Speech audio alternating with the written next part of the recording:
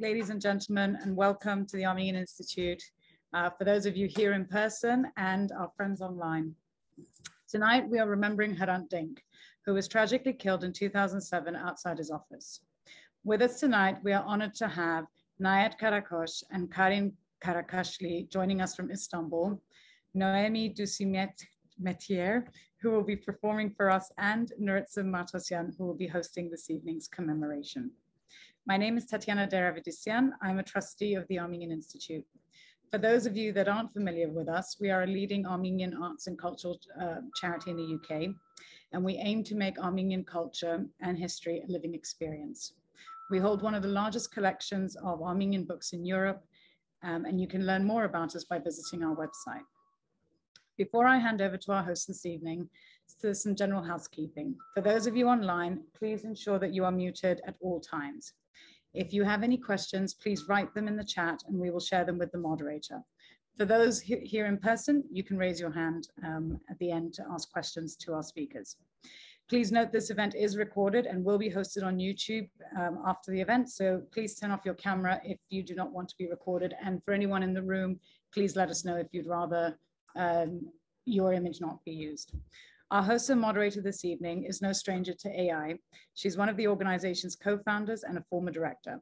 Nouritza is a writer, performer, and human rights activist with documentary films to her credit, including um, the award-winning Hrant Dink, Hearts of Two Nations, she first introduced Hrant Dink to London, where she filmed his historic lecture and their conversations together. She published biographies on, on the composer of the composer um, Iannis Xenakis and the American Armenian artist Arshile Gorky. Nouritza. Good evening, Karirigun, Merhaba. Very good to see you all here today. We are here and you've joined us to remember Hrant Dink again.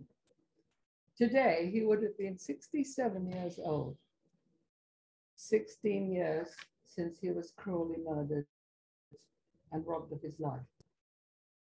The myth goes before him. Who was Hrant?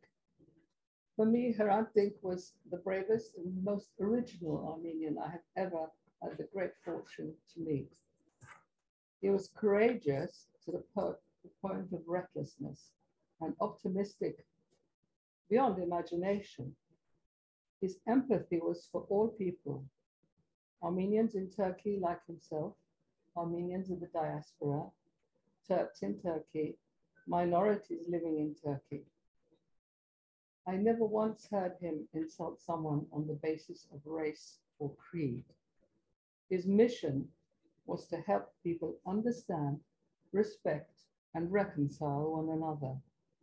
And this he did through his Armenian Turkish newspaper, Agos.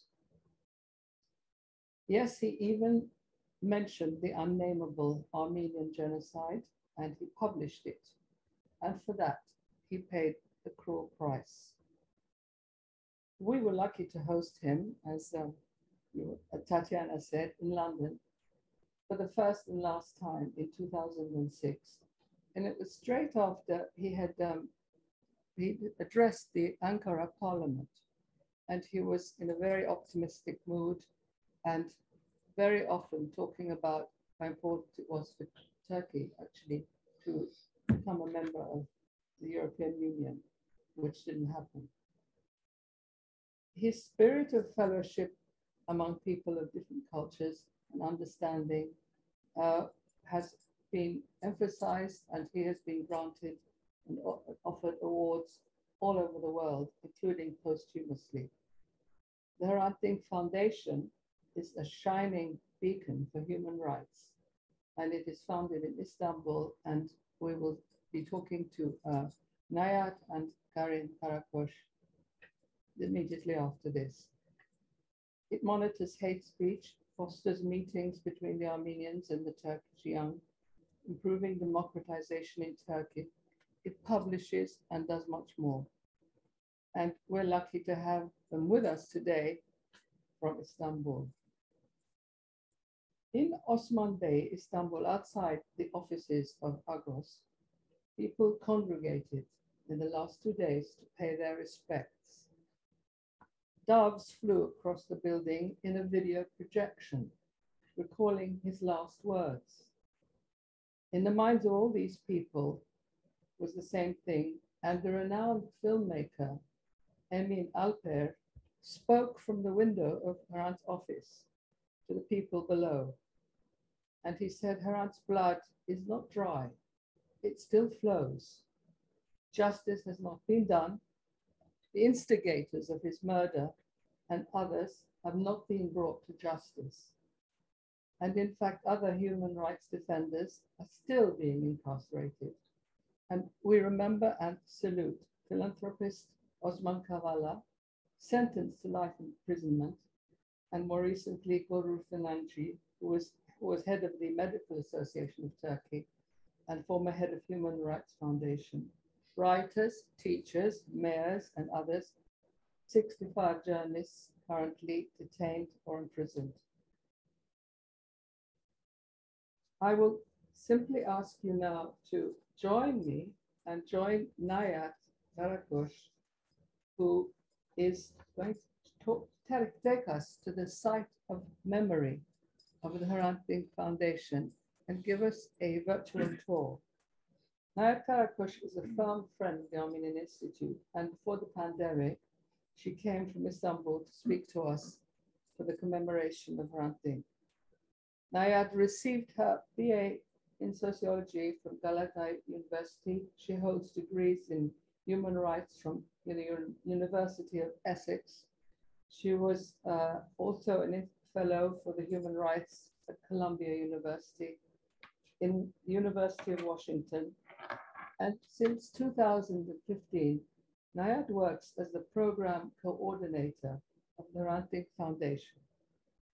Her various roles are developing and designing projects on hate speech, discrimination, minority rights, and dealing with the past. Other roles include project coordination, fundraising, networking with national and international stakeholders. Nayat coordinates the 23.5 site of memory. And this is the first memory site in Turkey dedicated to Hrant Dink and to the values that he embraced, such as democracy, justice, peace, human rights, and dialogue. We've asked Nayat to take us on a tour, and we will see a kind of facsimile of Hrant Dink's office with many of the pictures, the furniture, and objects which I remember when visiting him. Nayat, hello, welcome hello. to London. Hello, everyone. Hope everyone can hear me. And uh, thank you very much for organizing this event. It's an honor to be here. Three years ago, I was there in person again for the commemoration event this year through Zoom and still very happy. Well, as Nouritza well uh, summarized, uh, today, tonight, I'll try to take you to a virtual tour of our memory site. And uh, I should say that the site is established in 2019 and it's been operating since then. You can think of it as a museum, and every day we are receiving visitors uh, from Turkey and outside Turkey as well. And recently, of course, you know, it has been a very moving week for the commemoration, and the commemoration was held in front of the memory site now, what we call it. And thousands of people turned out again, and which was still like, you know, uh, kind of elevating our hopes because there's an immense amount of solidarity, I should say. Now I will share my screen. Um, just a second.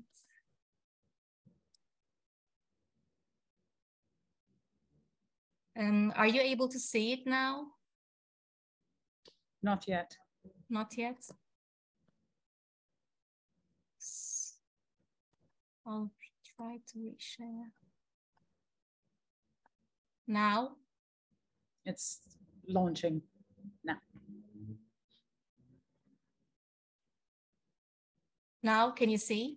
Yes, yeah, you yes, just need perfect. to make it full screen, Nayat Jan. Okay.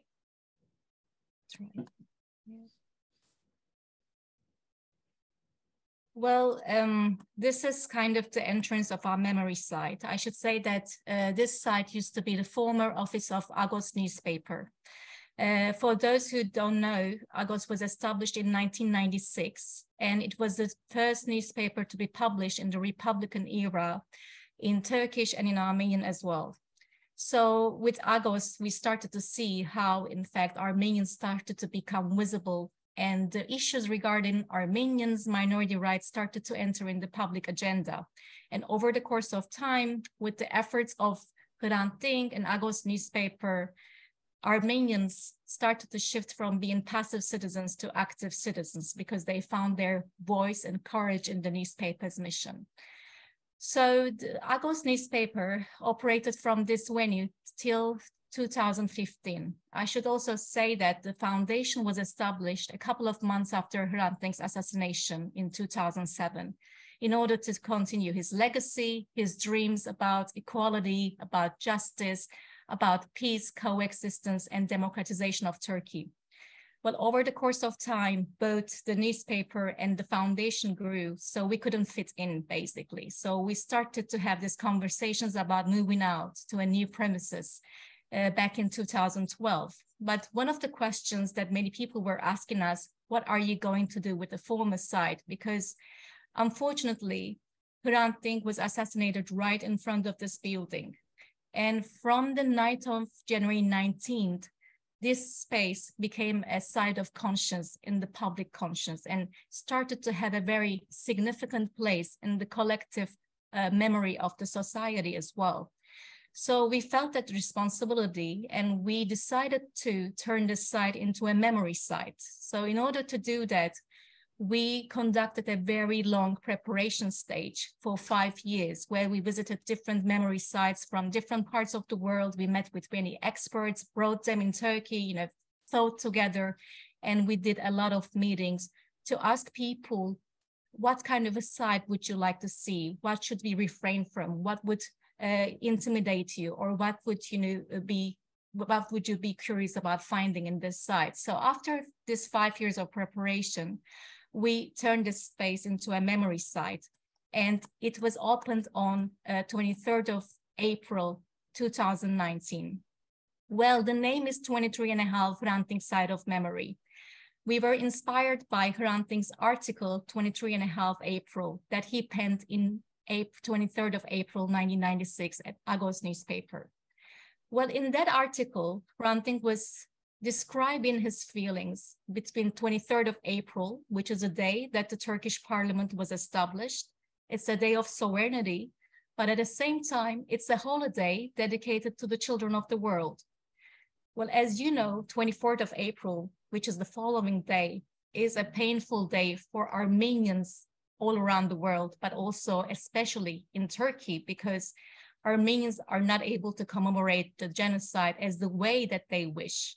There's still politics of denial, and it's a more sorrowful day. So Hrant Dink was trying to describe his feelings in between those both days. But at the same time, he was making a call because as 23rd April is a day, uh, it is a holiday dedicated to the children of the world. He was saying that invite all the children, but also invite children from Armenia as well, so that they can solve this problem. So it very much resonated with the mission of our memory site, because what we wanted to do is what we have learned, in fact, during the preparation stage, although those sites, they shelter a heavy memory or most of them are the places where horrendous events have occurred, they are also the sites that are trying to encourage people to act, to do something. So it's a bridge between the pain of the past and the hope for the future. So we wanted to name this site as 23 and a half. So in this space, one of the singularities of the site is the fact that Hrant Dink is the main narrator himself. He guides the visitors through the whole exhibit. We were lucky because we had a very large video archive. And what we have learned during all this preparation stage as well is that memory sites are more a question rather than an answer. They ask questions and also they encourage the visitors to question the things, the things or the facts they think that they know. So we have many videos in this site and each video starts with a question. Um, for instance, here, we ask this question, what am I struggling in Turkey? So when you click, it's Hrant who replies himself.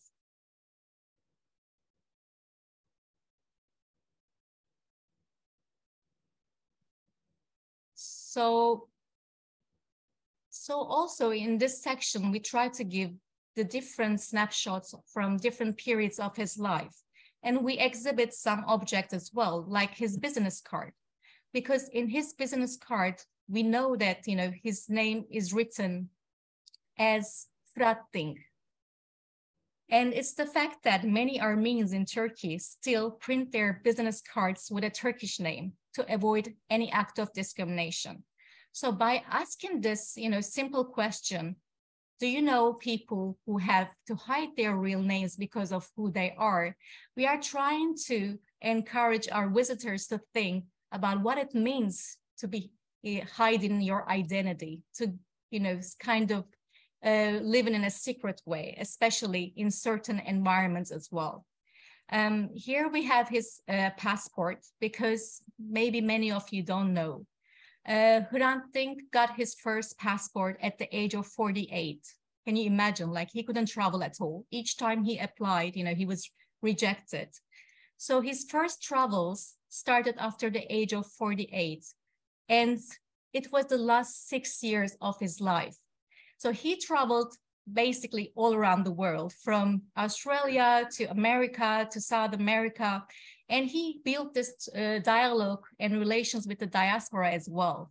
And after those visits, he was uh, he created a special page at the newspaper saying that uh, in the name of uh, my passport is in my pocket, and he was sharing his impressions from those visits.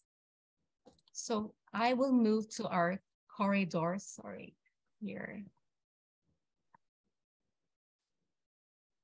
So in the corridor, you will see a collage of the newspapers, of Agos newspapers. It's like a time tunnel because at the same time, we are trying to shed light on the near history of Turkey, the different developments, because when Agos was established in 1996, it was a very difficult period in Turkey. It was a very dark period, like mid 90s. There was war in southeastern Turkey, and Armenians were constantly being blamed and insulted. So that was a very uh, critical period. But Hrant and his friends, they took a very brave step to establish this newspaper. On the other hand, uh, from the 2000s, it was more like more hopeful process, I would say, because there was EU accession process, democratic reforms, and Agos was a very activist newspaper you will see in many headlines that Agos is calling the you know presidents, the prime ministers, saying that you know these are the problems, but also these are the steps that you should take. So it's a newspaper not only highlighting the problem, but at the same time trying to be part of the solution by proposing solid and concrete steps. So here we have a room called Tertava, based on Hrant Dink's own personal story. Because I should say that many of the rooms in the memory site are created from Hrant Dink's personal story. In Tertava, we shed light on his experience in the military service. He served in the army eh, in 1986. And back then in Denizli, and back then he was um, already married with kids, but as you may guess, he was subject to discrimination. So in the after the first month of the military service in Turkey, there is an oath ceremony. You swear and you take an oath, and they announce whether you are promoted or not. While all of his friends were promoted to a higher rank, he wasn't, which meant that he would be forced to do, to do more hard labor work, like all night long watches as well. So he felt very upset. And after that ceremony, he took a walk and he found a tin shed with the walls like this. And he cried, and so that he cried, his cry wasn't heard. With a key, he started to scratch the walls to make a sound so that you know his cry wouldn't be heard. So we dedicated this room to our visitors as well, because each of us, we have different stories. It can be stories of uh, discrimination uh, or stories of how we overcame this discrimination. So what we have learned again uh, in terms of memory sites, these are the spaces of expression, of sharing as well. So here, uh, our visitors sit on this chair and uh, just opposite there's a screen. And if they want to record and share their story, they do share. And if they let us, they become part of this exhibit as well.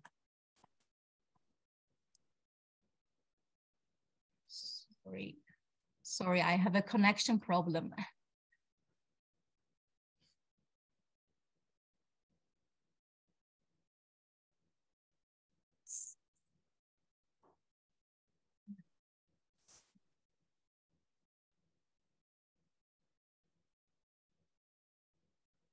Mm, I have to refresh, I guess. I will just pause it and sorry.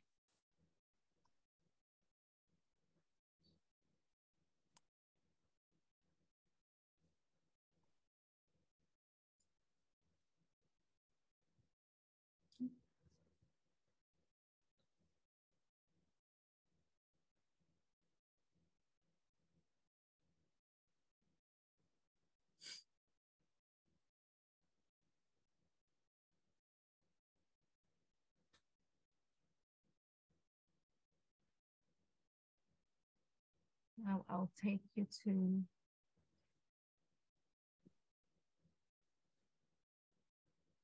Now I'll take you to the room of Agos newspaper, where we tell the story of the newspaper, uh, the impact that the newspaper made. and Karin will tell maybe better because she was uh, there from the very beginning and she spent many uh, years in this newspaper office. But Agos was a trailblazing newspaper, as I said. And here we have the digital archive of the newspaper, also the hard copy archive. So the visitors are able to make in-depth researches as well.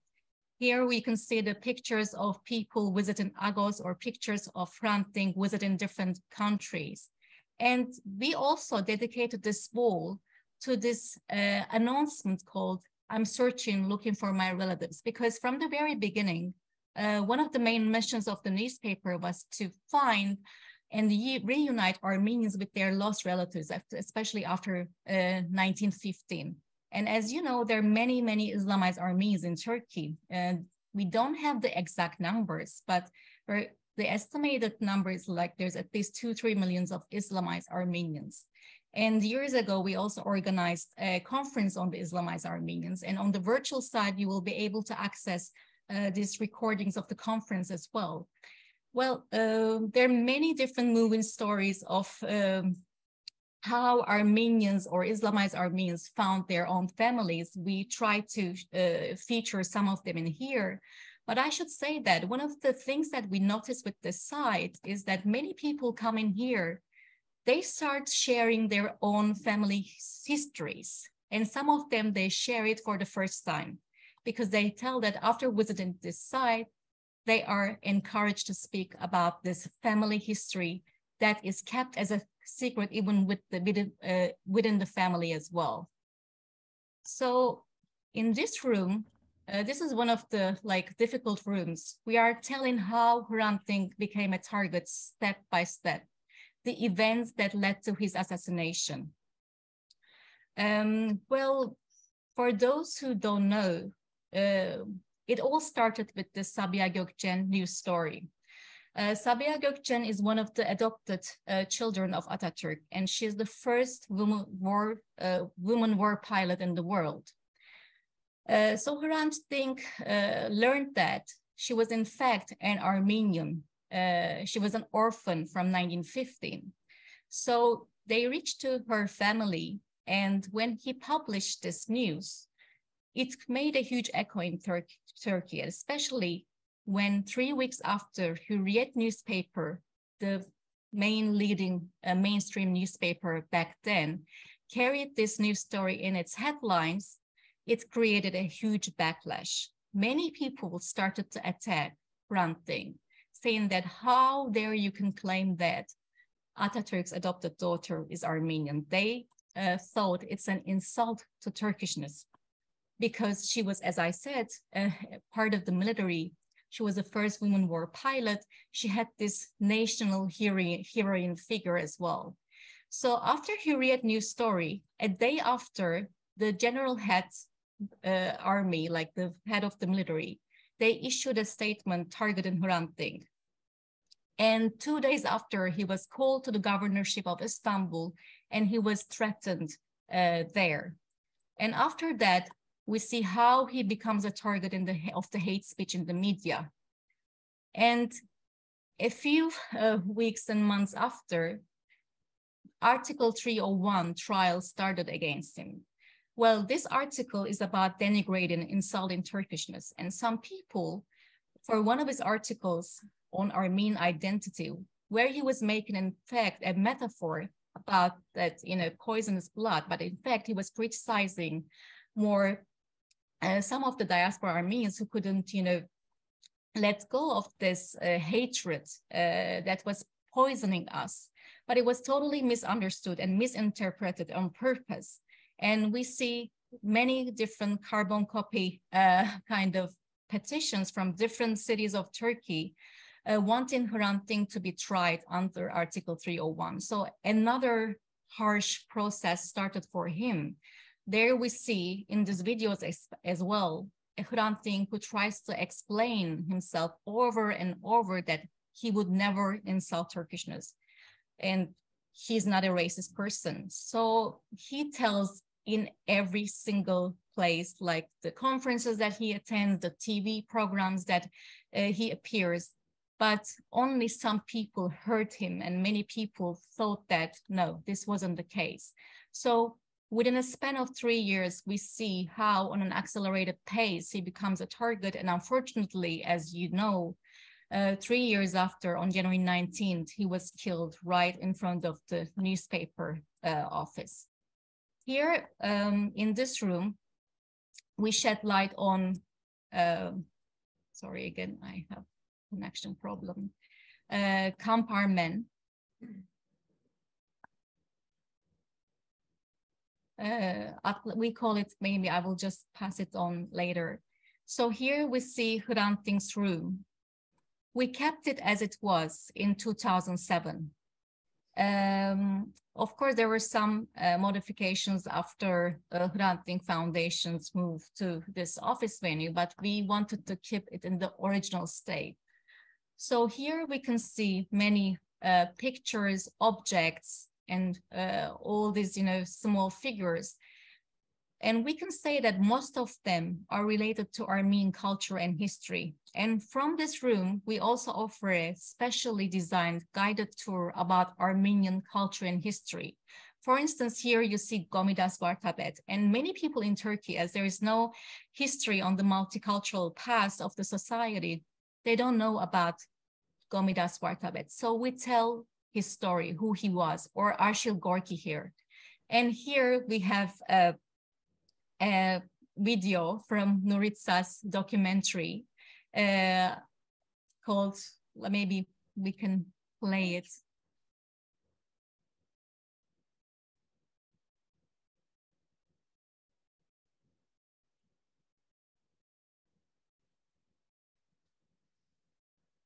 There's no sound, Nayat.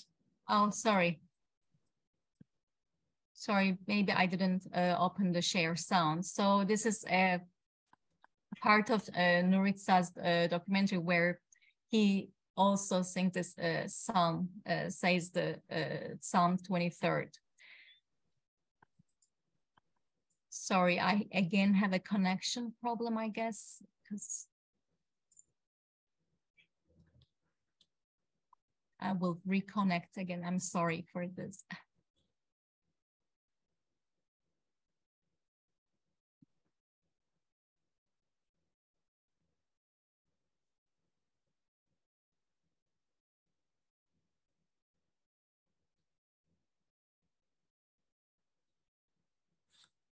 Can you see now? Not yet. Not yet.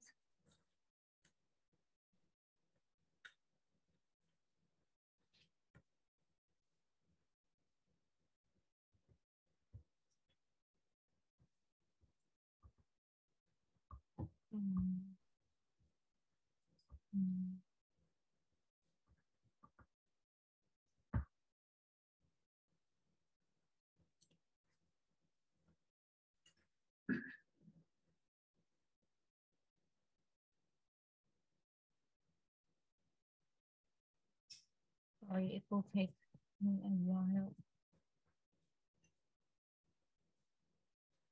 The joys of hybrid. The joys of hybrid. Joys of hybrid.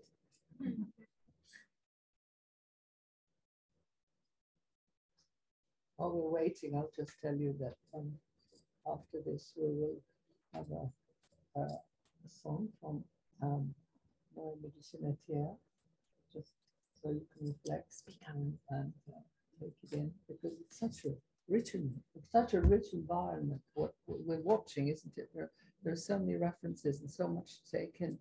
Very, very layered uh, experience listening to um, to Nayat. So Noémie Ducimetière, uh, I will introduce her. She's a folk singer and electronic producer, and she is now training in medieval chant with the Idrissi Ensemble. And they have been training in Corsica, in Greece, and uh, where else? Um, uh, in London, yes. And uh, they, they lead this experimental soul, and she leads an experimental soul project called Moon. And she's going to sing to us afterwards.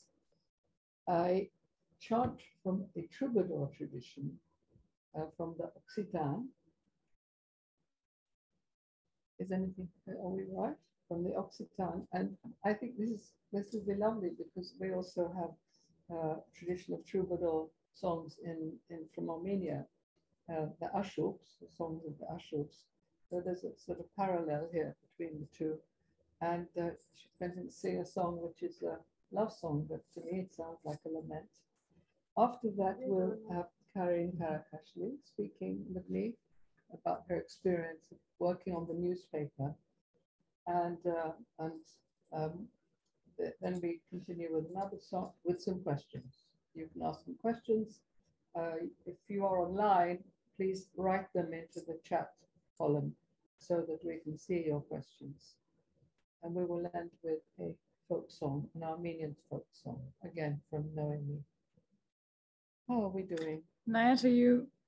Yes, I'm back. Uh, so, so from Hrant room, uh, we are now in the Salt and Light installation by artist Sarkis, because this space used to be the former uh, terrace of the uh, space, but it was like used like an archive. So we wanted to create also a space for reflection and commemoration.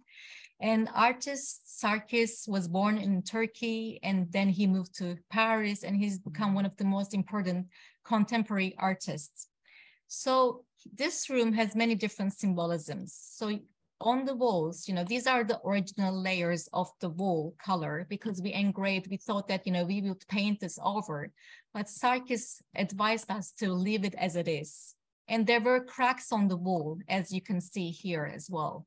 And Sarkis's vision is based on uh, creating trade, treasure out of pain, turning that pain into something beautiful.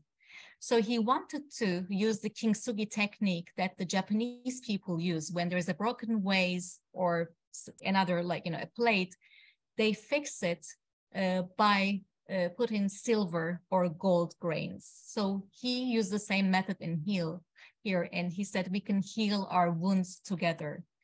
And on the wall, you would see uh, those tamatas, what we call. You take it from the churches. If you want to wish something, you to take it uh, as the shape of a house, heart.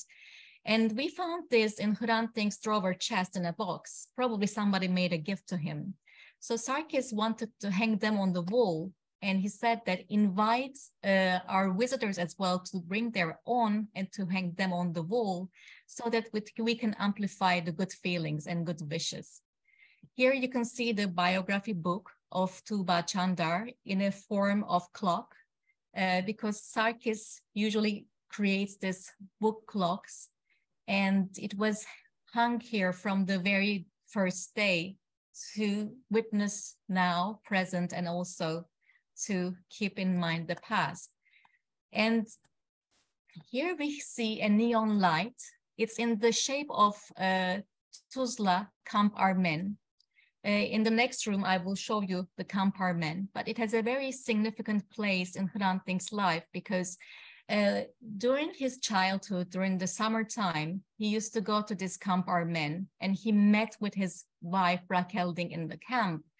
And they grew up there. They contributed to the camp and later on even they became the managers and looked after many kids but unfortunately the camp was one of the confiscated properties uh, of armenians which became a very painful fact for Hrant Dink, and he was trying to make voice for the camp. And uh, Sarkis wanted to create this neon light in the shape of the building of Camp Armen. And when you come to the venue, it has a beat as if Hrant Dink's heart is beating still. And below we have a candle. If anyone wants to light a candle, they should be also able to light a candle as well. So I will take you to Camp Armen uh, building uh, room, Atlantis civilization room. But again, sorry, my connection doesn't allow me, but I summarize, maybe later on I can show a picture because I don't want to take uh, more of your time. So this is our memory site, uh, but you can also visit this online in Turkish, in English as well, and listen to all the content of it. And uh, we are receiving, maybe I should uh, note this, like thousands of visitors so far. And mostly non-Armenians are coming to the site and we are working with the youth as well. We created some learning programs on human rights, on democracy, on memory sites, on Armenian culture.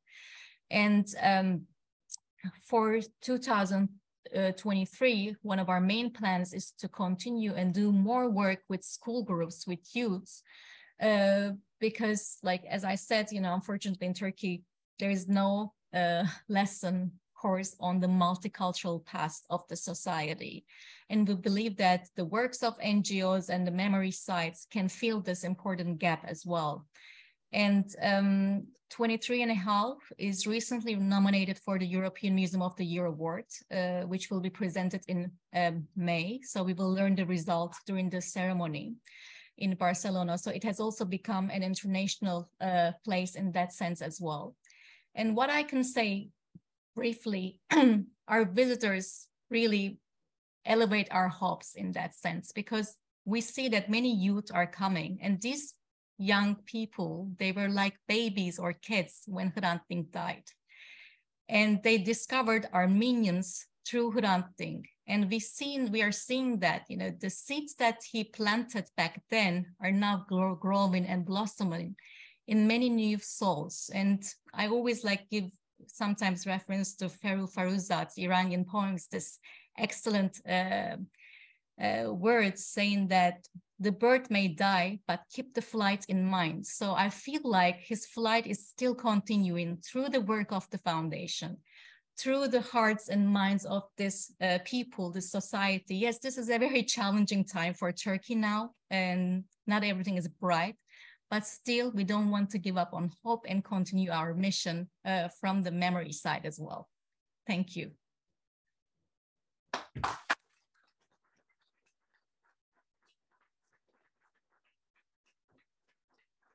Thank you so much, Maya. That was really a much deeper experience than I expected, even though it was online.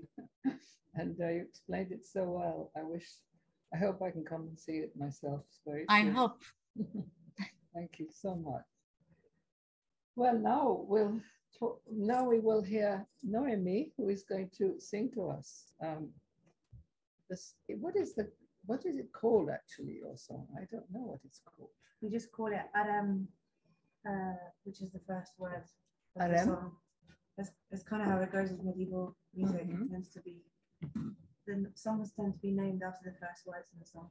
Right, and and she's using a kamani, which uh, just for the drone, not because she wants to accompany herself, but just in order to have a drone to sing to. Thank you. And it is a love song, but um, if you want to put that there, we'll- yeah. Want to tell us a bit more It- about it's, it? it's a love song, but her lover did die in battle, so it, it is a lament. Ah, so-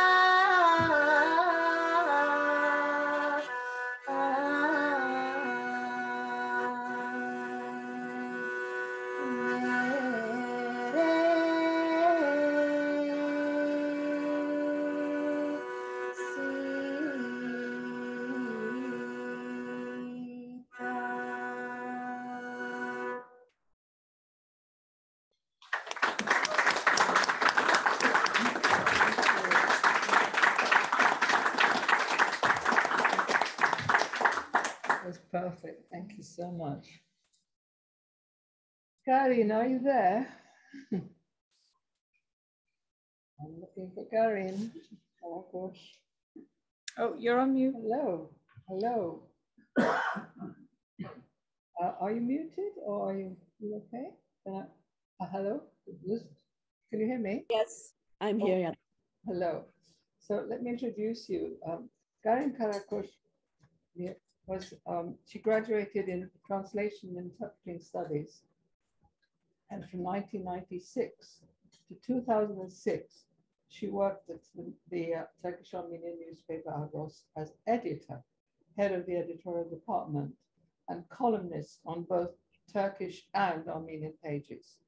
She's completed an MA in comparative literature, works a, as a translation instructor at the university, and as a teacher of Armenian language and literature in an Armenian high school. And currently she's a columnist at both Agos and Radikal newspapers, and she continues to write fiction and poetry. And she's written several children's novels. She's also the co-writer of a research book, Türkiye'de Ermeniler Cemaat Birey Yurttaş, Armenians in Turkey, community, individual, citizen. My dear, so good to have you with us. I'm Thank going to take you back to the very beginning. What was it that made you go and work for uh, Agos in the first place? Well, as it is the case with Hrant Dink, actually, you do not have your plans. Uh, rather, he is the determining factor, I, I would uh, say. Uh, he came to an award ceremony for my first published um, short stories. And at that time in 1995, uh, there was no newspaper at all. He was in his capacity as this owner of the bookshop and as the competition was organized by another fellow one, uh, he heard that an Armenian girl uh, was awarded and uh, was there aside my mom and dad. And the first striking thing was that when there is something to be happy, uh, your family uh, is there, of course, to rejoice you. But other than that, when a complete stranger is uh, happier than the rest, uh, you are struck. Who is this man? And uh, I remember now uh, your uh, description of uh, him as the as an original Armenian. That's that's true because I haven't met an Armenian like him. I did I didn't even thought about what a typical Armenian is, but generally speaking, uh, we may say, well, uh, there was this moderate type, uh, having an invisible life, uh, busy with trade and the uh, local ceremonies at best, uh, visiting the church, living a peaceful life as invisible as possible. But he was shining with energy. Um, and this joy uh, was actually contagious. So uh, after a couple of months, uh, he called me again and said that there was this preparation uh, for a new newspaper, bilingual one. And this was a revolution in itself, as Nayat so perfectly uh, summarized, because for the first time, Armenians uh, would have the opportunity to raise their voices with the language in order to reach out the society and tell both their culture um, as subjects, but also their institutional problems. And uh, rather than being the objects, they would be there as people. Uh, so this was the revolutionary part. And uh, I was actually invited uh, to be interviewed uh, as this uh, newcomer author but uh, in time when the interview was published, I was already part of the uh, team.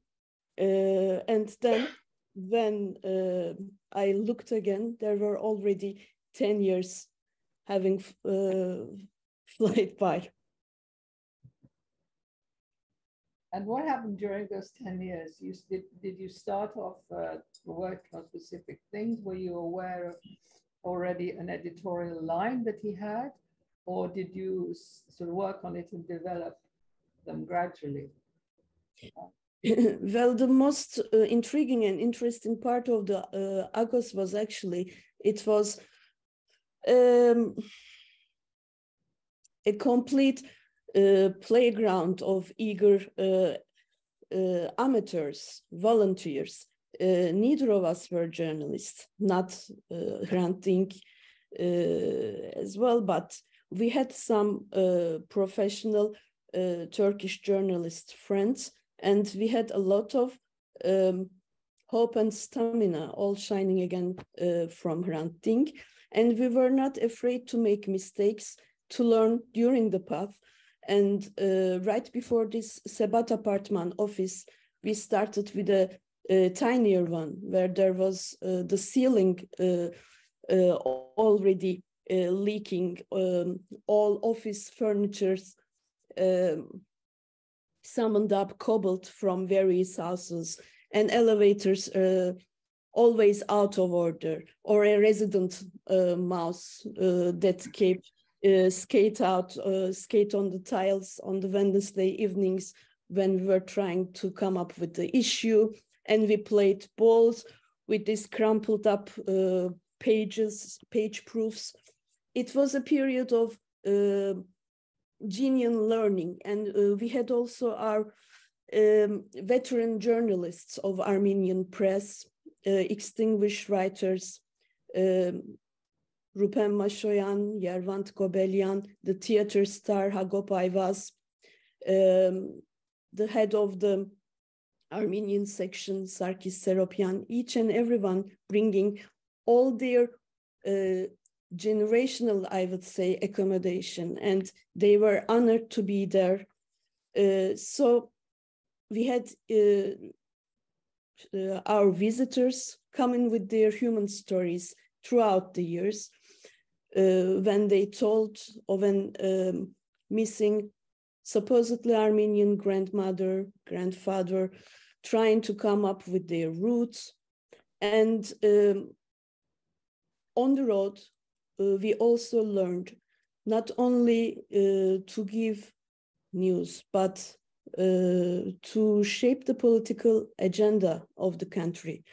and this is all Hrant Dink's work and his vision, of course, that we were able to reach uh, people and build um, solidarity, attention, uh, that we as Armenians became humanized with our stories uh, rather than being labeled as traitors uh, or potential uh, enemies. uh, because he was uh, very convinced of the strength of the human story. You can reject uh, opinions, uh, but you cannot do anything against the sincere human storytelling, and he was the best of it. Uh, that's why when he came up with his story of Camp Armen, Camp Armen was no longer a um, forgotten juridical, uh, juristical issue, but the story of a kid growing up there, marrying his love, and raising children, and also uh, the hope of being a proud Armenian without uh, giving up uh, his hope of being an equal citizen. Camp Armen was also an interesting story even after it was bought by somebody, it was sold, yes, because uh, it was taken away from the Armenian uh, Armenians because it had been bought by a charity. Uh, and, and this man tried to give it back, did he not? He tried to hand it back, but he wasn't allowed to. Yeah, like it is with all these uh, issues of confiscated properties. Mm. You cannot give back uh, the in just uh, accumulated uh, years uh, of disappointment. it's a really sad story because there was this child labor. There was this child um, world within it. And when it is denied, themselves. Yes. When it is denied, uh, then uh, it automatically shows also uh, why uh, he was um, made to a target long before Agos. He was a political figure in his daily life. And this only enhanced uh, when through Agos he became maybe against his will to a spokesman, to a non-official spokesman of Armenians in Turkey and Armenian world in general, I would say all the other Armenian newspapers were very uh, careful to, to not to do anything uh, which which would rock the boat, and and he took a very different approach. He was also then surrounded by journalists who were supporting him, wasn't he? I think that is also an interesting story. Sure, because uh, he had this great power uh, to convince people, ordinary people, as well as ambassadors, uh, high-ranking politicians, uh, and even the uh, most nationalistic people, because uh, he would give so much care to be understood properly. And um, he had this immense, uh, incredible uh, power of empathy. And he always spoke of um, issues, uh, this is his words, um, I thought I'd best remain on the knife's edge. That's the most secure place for me. And with knife's edge, he uh, emphasizes, I guess, the um, nearly impossible situation of being uh, Armenian of Turkey, being Armenian, giving the value of uh, this identity and being of the of uh, the equal citizen of the country uh, as well, uh, not losing the one uh, for the other. And I think I approach the issues with a courage that oversteps the limits, he said once and there is this question of what limits, why limits, whose limits that we have to answer. Uh, and again, his words, I take into account whether anyone I come into contact with has the patience to listen to me. I do everything I can to not hurt them. In the end, it was uh, he, he himself he got uh, hurt and there is this burden that he uh, he couldn't be protected so uh, that's the legacy we are talking about and that's why his impact is so huge and unwavering i would say But he could have been, he could have been protected if the, if the government had, uh, had, had protected him. He asked for protection at the end, did he not? And, and nothing was done when he was getting these death threats constantly. And uh, he knew that he was, he was targeted and he asked for, he asked for security and he didn't get it. Uh, you know, he also was uh, a man uh, that who always uh, cared to protect uh, the loved ones and the community he came from more than himself. So he was well aware of this alienation process. Of course, he got the support of the journalists, authors, and intellectuals uh, and uh, even the society at that time. But compared to the danger we see now uh, from nowadays, it's of course not enough. And uh, I remember the day when there was this uh, hate demonstration in front of Agos where uh, people were, were shouting, uh, you are the target ranting of our anger, uh, etc. And uh, then he would only feel sorry for the neighboring shop owners. That's that's a day where they somehow got restless. So he will uh, carry even this kind of uh, shame uh, for himself. And he would then call me, for instance, when we were going out, maybe you should not talk beside me. you should not walk beside me. And then in the end, we were 100,000 people walking behind him, unfortunately. But he was he was very well aware of, of the dangers. Uh, I remember when I visited him, and I asked him if he always comes in and out from the from the same doors, whether he sometimes changes his route when he's leaving to go home because he used to go home at night, and uh, and he said, "Oh, doesn't make any difference." You know, he was just he he he he he he he he didn't want to accept that that was happening. I feel as though he just wanted to ignore it. Completely, yeah. He this was the huge dilemma. Uh, he would get a package and uh, would call to the secretary. Well, this could be a bomb, and meanwhile would wrap the uh, papers out. That that was typical him, with so much uh, foresight, but also uh, this optimism. Mm. So, Karin, what do you think is um, the role of the newspaper now that he's, he's not there anymore? How, how do you view it? The future of Agos and the importance of Agos?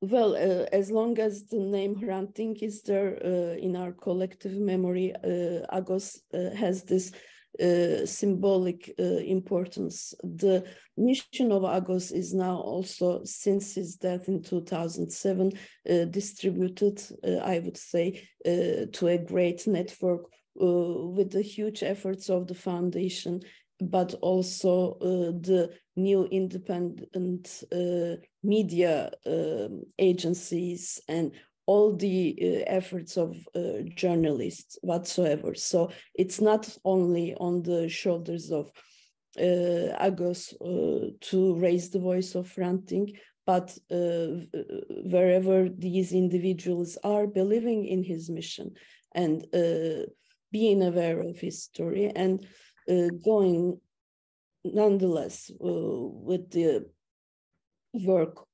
of peace building as there is no other option uh, left.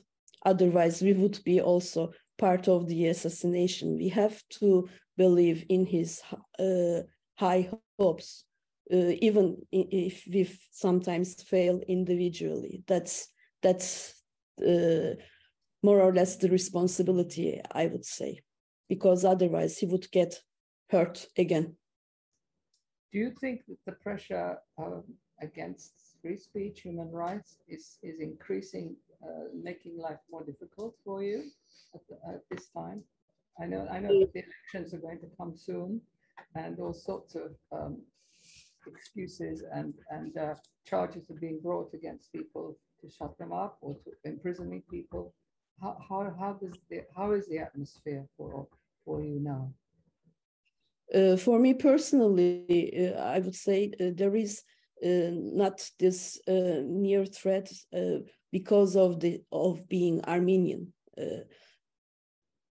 in a way, when the state politics wishes, this issue is brought, and all of a sudden you find yourself again with all your story um, as a potential enemy but now we have uh, since many years a more general um, uh, atmosphere of increasing fascism, and um, it uh, reflects all spheres of uh, opponents, from as you have already mentioned, journalists to lawyers to human rights defenders, everybody raising voice for an equal, free uh, country.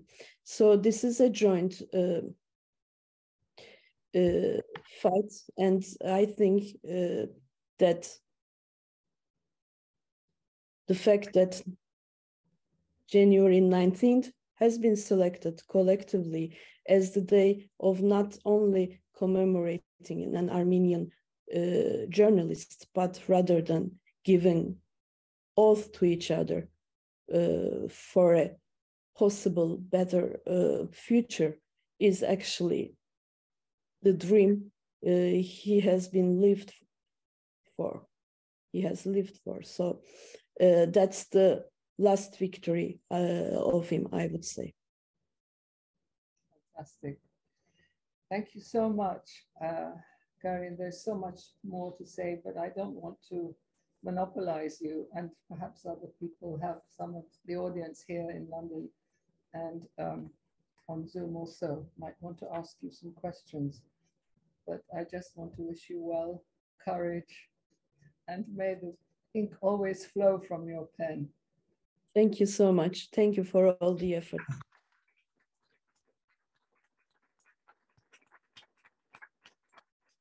Uh, do you have any questions for uh, Karin or for Nayat? Actually, for either of them. Um, we're getting some comments here from people sending greetings from the United States and grateful to attend the site of memory. Great to hear you attended the opening. Thanking Nayat very much for the, for the tour from Cumbria.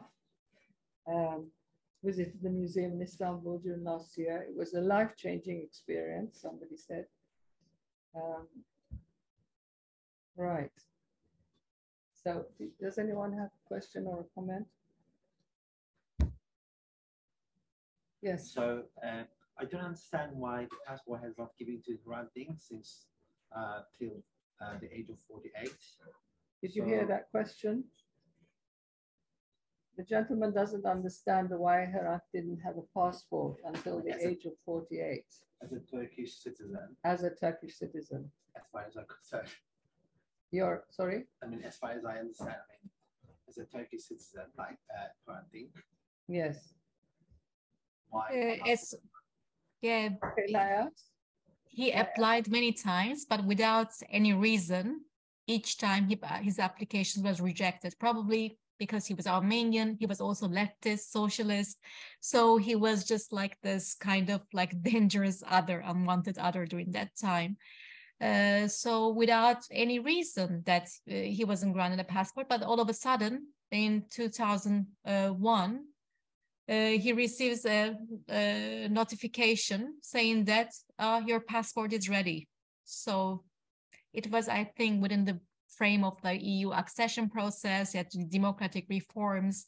So that was maybe part of it because not only Hrant Dink, many people uh, couldn't get passports uh, in this country in the past, especially after the military coup in the 90s. And I we should say that you know it's still an existing problem, especially after the military coup attempt in Turkey in Turkey in 2016. um, many people, thousands of people, they have travel bans. Still, uh, many human rights activists, journalists, they cannot leave the country. So this fact in the past still sheds light on what's happening today as well. This is a practice, and some people they go to the airport trying to exit the country, and they learned that they have a travel ban uh, by the police officer in the airport. So it's an ongoing problem. And not only is the passport didn't give him uh, freedom to travel either. When I invited him to come to London, he said, "Oh well, I'll have to. I'll see if I can get a visa." And we waited a long time for him to get a visa. Really, months and months and months. And they would go and come back and say, "No, it's not ready. We haven't." heard, uh, And suddenly one day, yes, the visa came, and the next day he got on the on the flight. Yeah. So a passport, it was no guarantee for, for free travel. Yeah. Does anyone else have a question? Yes, please. I'd just ask if either of you could tell us, please, how many thousands of Armenians live in Istanbul today? That's kind of Lizesi Karsuma, sorry. Um, Yeah, number of Armenians in Istanbul today. how many Armenians, yes, live in Istanbul today? Karin, maybe you know better than me, but we don't have the exact figures. There's no statistics to, that is uh, conducted uh, up until this date.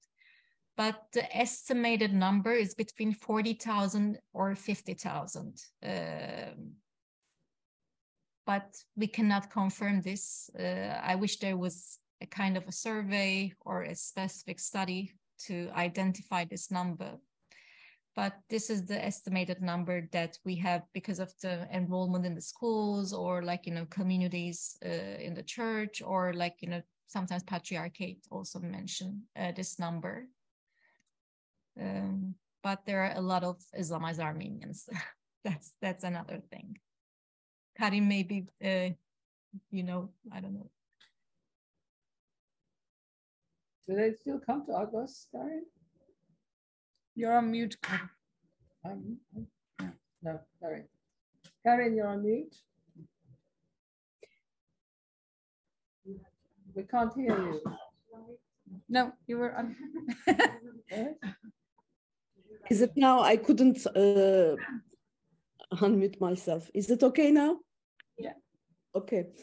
So uh, as there is uh, no questions uh, asked about the mother tongue or ethnic origins during this uh, population enrolling systems we do not have exact numbers. Uh, we always play with uh, estimations. Like Nayat said, it's okay, maybe 50,000. Uh, sometimes it's raised to 80,000 people. Uh, and apart from Istanbul, there is only a small Armenian village in the south, Hatay, Vakıflıköy. And more importantly, as Nayat also underlined, the, there is a huge number uh, of Islamized Armenians. And this was the last taboo actually Hrant uh, touched. And the foundation is uh, going uh, in this direction uh, as part of the legacy again. because these are the people actually connecting the recent history for both parties. Uh, apart from that, there are there is already a community of Arme Armenians from Armenia who are living also in Turkey, and in uh, certain districts uh, we have this uh, centralized uh, life, but it's all spread. And actually, um, compared to the population, I would say the word Armenian weighs a lot. Uh, so it's sometimes as if uh, are millions of people uh, because uh, uh, of the weight of this uh, word, be it be it in a positive or uh, negative connotation. There's another message here. Thank you, Nayat and Karin. Not a question, but a note of gratitude for your resilience and courage. Please tell us how we can support or contribute. Do you have an answer? Mm. You like to say something about that? by maybe following our work, coming to our events, or like um, as the Hrant Dink Foundation, we have many volunteers. I should say that not only from Turkey, but you know, people from outside Turkey and diaspora, they want to contribute. Uh, sometimes they say, oh, we want to translate something, we can do some voiceovers. So we are open to any contribution, any support. And through those kind of uh, gatherings, uh, we have met with amazing people who later on contributed to our work. Uh, so please do get in touch uh, with us if you want to uh, come even to Turkey. We will be happy to host you at the foundation at the memory site as well. We always believe the more the merrier and hope we can uh, become more all together. Thank you. Anyone else have a question here? Yes, please. There are prospects of diplomatic relations between Turkey and the Republic of Armenia. And I was wondering what the attitude was of the Turkish Armenians and the Turkish people themselves and the editorial guidance that's been given by Agos. Did you hear that? Yes? Uh, If you could Turkey Armenia relation. Do you- Sorry? Do you want to repeat the question? Sorry? Repeat the question. Oh, you want the question repeated? Can you repeat it, please? Uh, no, you can. Maybe, maybe you can repeat it, Nouritza, Yeah, because we okay. hardly So- hear it. My Yeah. voice is Very far. Well, I, I'll, I'll paraphrase. Basically, with the looming um, sort of discussions around uh, better relations between Armenia and Turkey, how do Turkish Armenians feel about that, and how do Turks feel about that, and what is the um, uh, what is the editorial approach to that at Agos?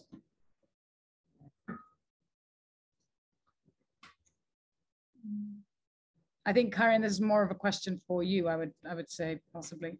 So uh, as far as uh, Agos is concerned, uh, I'm not uh, part of the uh, recent team. uh, so, um, but of course, I uh, follow as a reader.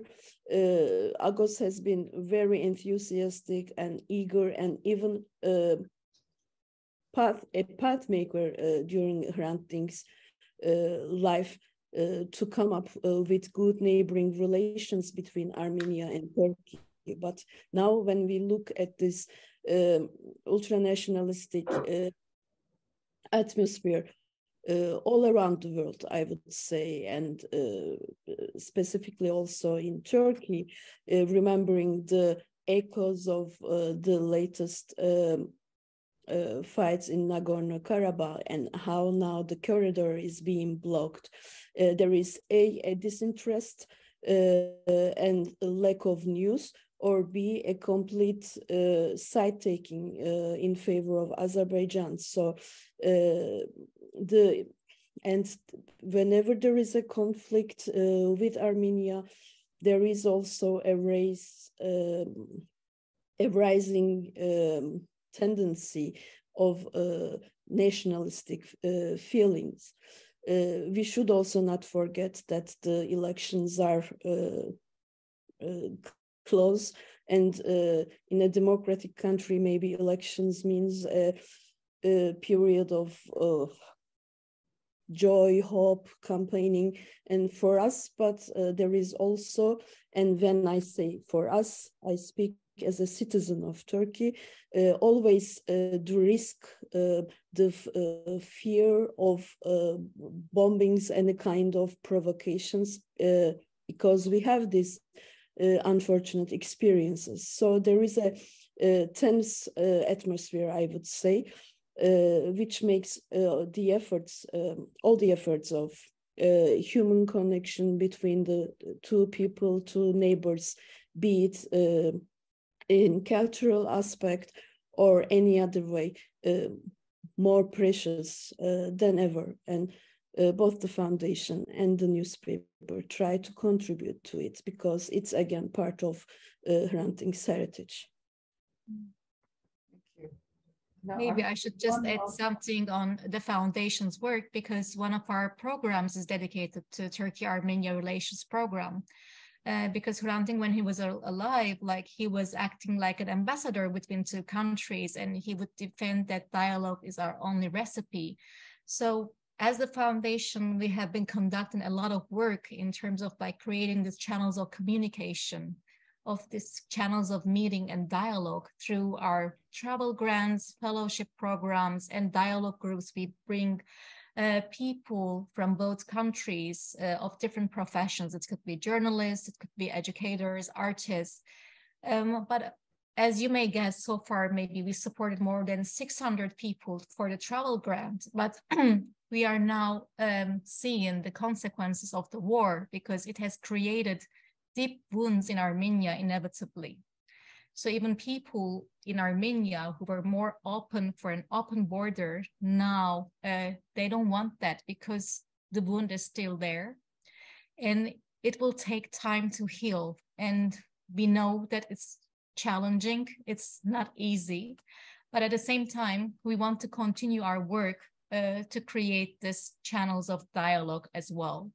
Um, because Hrant Dink described as like two close societies, two distant neighbors. And uh, open border would be an, you know, way to approach the societies and, you know, to normalize the relations. But now um, it's harder than it was like five years ago. We have a long way to go and people should uh, especially from Turkey, because when there was a war in uh, Nagorno-Karabakh, of course, as uh, Karin mentioned, like there's escalation of hate speech against Armenians in Turkey as well. In parallel to that, uh, you become more vulnerable, and the things uh, that you want to initiate between two countries becomes much more harder. Uh, but we will see like what will happen after the elections because now in a couple of months we will have the elections and we should be patient and see and make whoever is governing make more advocacy in that sense as well. Yes. Um, someone, Alan Pisegian says, thank you so much for sharing your reflections in this deeply moving and well-researched event, deeply enriched, I feel, due to your personal connections with Hrant and sharing his vision with us. And what message do you think Hrant would want us to carry in his name to honor his memory? Mm-hmm. I don't know if either of you feel like you can answer that question. He, he doesn't have any like quick and easy answer, I guess. I think you have, yes.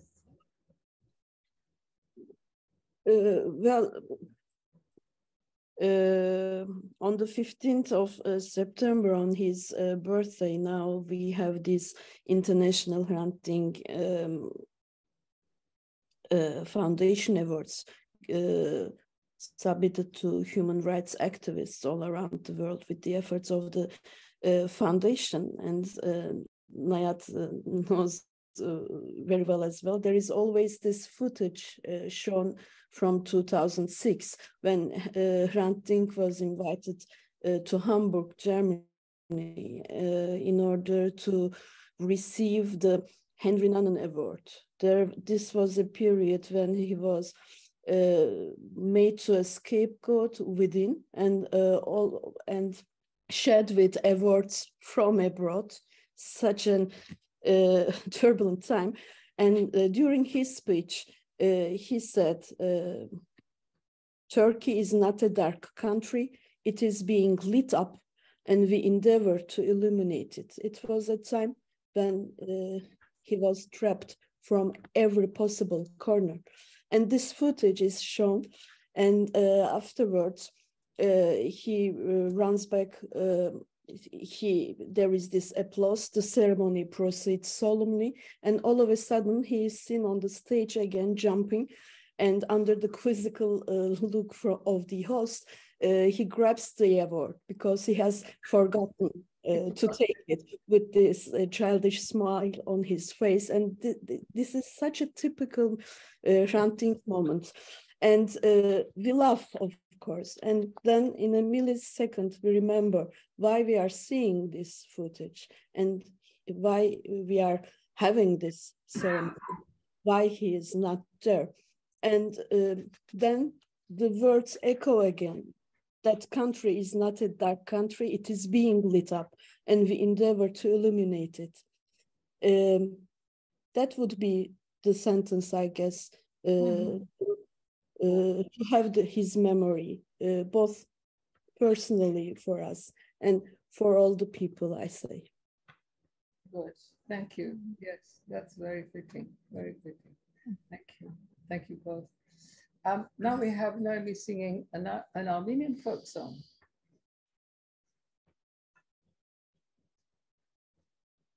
Sareri Hovindarina. I'm not Armenian, so please excuse the pronunciation. The pronunciation is excellent.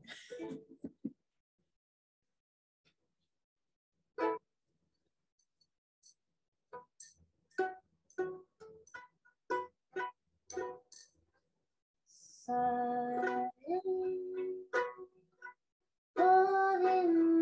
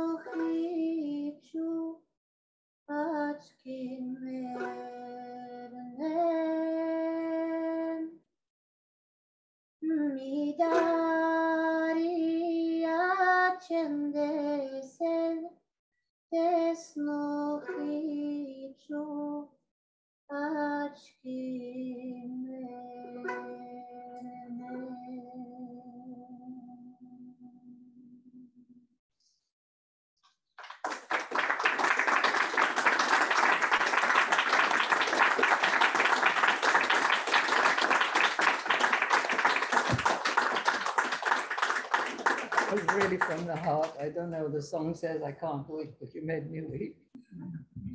Thank you so much, Noémie. It was very fitting. It was your interpretation. So um, I just would like to say that uh, there's a new film by Ümit Kıvanç, uh, System Memory Too Low for Words, in case you're uh, interested in that. It's on YouTube. You can see it. My film's also on YouTube. And um, I just want to thank everyone who took part in this evening. It's always very moving and it's always very enriching because we learn so much every time as well. Um, I thank Nayat and Karin for joining us and we wish you strength and courage and for going forward in your invaluable work. I also would like to thank the family and, and we love you. We, we, we send our wishes, our best wishes. It's hard for you. You have such courage and such bravery to carry on the way you do, and the wider family of, of Hrant Dink and all those people who love him. Uh, I thank the Armenian Institute for putting on this evening, Tatiana and Susan. Um, please do support the um, as Foundation do support the Armenian Institute. It's good people who are going to make the world good. Thank you very much. Please stay and have a drink with us.